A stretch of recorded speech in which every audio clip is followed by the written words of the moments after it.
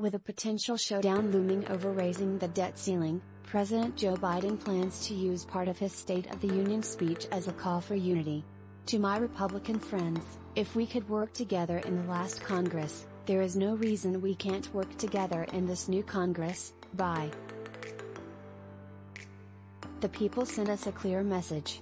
Fighting for the sake of fighting, power for the sake of power, conflict for the sake of conflict, gets us nowhere.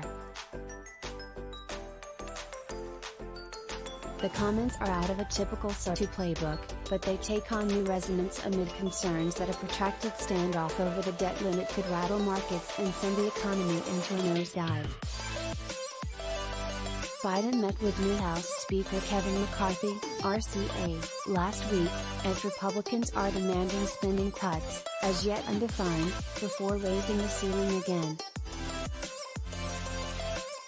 Democrats don't want conditions attached to raising the debt limit as a way to pay back spending that has already been incurred.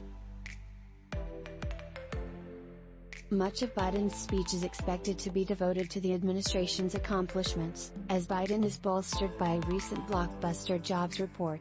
Jobs are coming back, pride is coming back because of the choices we made in the last two years, Biden plans to say, according to remarks released B.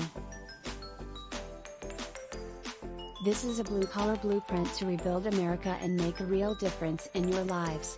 He also plans to declare that COVID no longer controls our lives, and that democracy remains unbowed and unbroken. The latter is a reference to the January 6th attack on the Capitol. The story of America is a story of progress and resilience, Biden plans to say. We are the only country that has emerged from every crisis stronger than when we entered it. That is what we are doing again.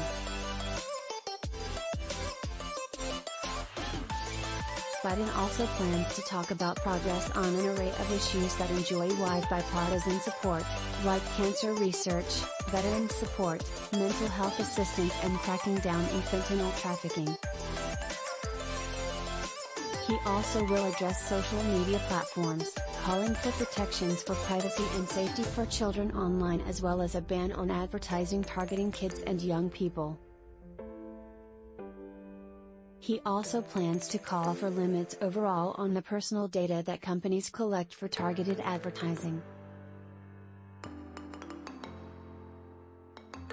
There also could be mention of Biden's proposal unveiled last week to curb so-called junk fees, including concert ticket surcharges and cable, TV and internet early cancellation fees.